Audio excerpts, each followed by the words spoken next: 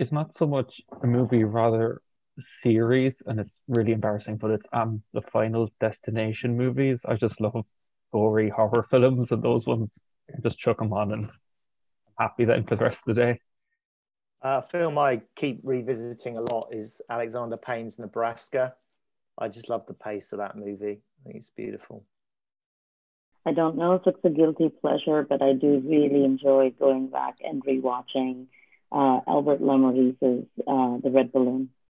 I love watching dance scenes. So, like, okay. I love the dance scene in the film um, uh, Lovers on the Bridge by Leo Carax with Juliette Binoche. I don't know if you've seen that dance scene. It's pretty classic where they're dancing across this old bridge in Paris and they're just going crazy with all this like punk rock music and like um, fireworks and stuff. And yeah, I just love watching just scenes of movies over and over again, like David Lynch. Like I love his bunny rabbit scenes and stuff like that.